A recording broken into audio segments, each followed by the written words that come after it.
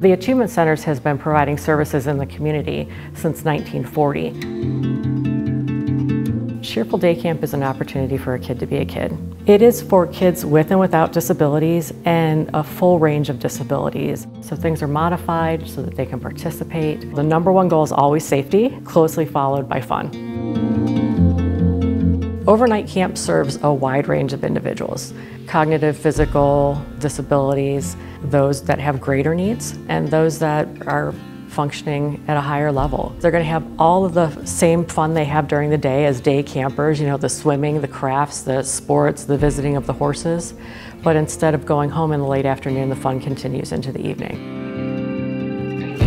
Sensational ESY Camp, or Extended School Year Camp, is a day camp that we offer here at Camp Cheerful for campers that really need an opportunity to continue their academic work throughout the summer, but also would like to do that in this amazing 52 acre camp setting.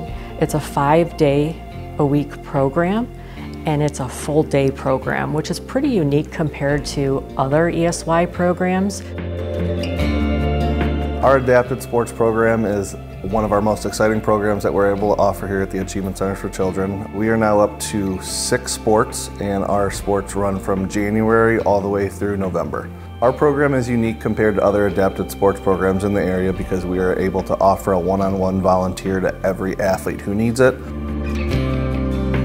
The Therapeutic Horsemanship Program is a year-round program we serve children and adults with and without special needs. Children who need assistance with regulating their behavior and their emotions get direct feedback from the horse in real time. All of our staff are certified therapeutic horsemanship instructors through an organization called PATH International.